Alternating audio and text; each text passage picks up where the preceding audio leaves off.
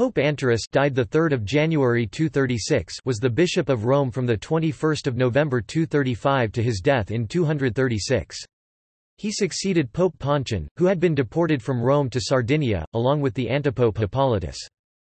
Anterus was the son of Romulus, born in Petilia Policastro, Calabria. He is thought to have been of Greek origin, and his name may indicate that he was a freed slave. He created one bishop, for the city of Fondi.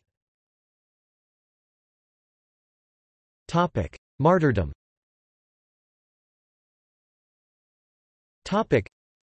Some scholars believe he was martyred, because he ordered greater strictness in searching into the acts of the martyrs, exactly collected by the notaries appointed by Pope Saint Clement I. Other scholars doubt this and believe it is more likely that he died in undramatic circumstances during the persecutions of Emperor Maximinus the Thracian.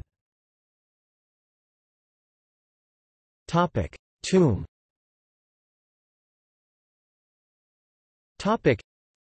he was buried in the papal crypt of the Catacomb of Calixtus, on the Appian Way in Rome.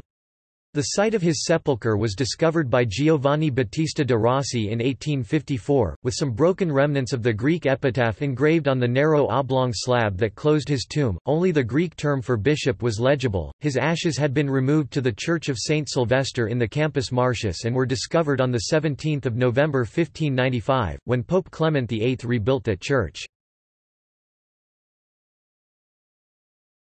Topic. See also Topic.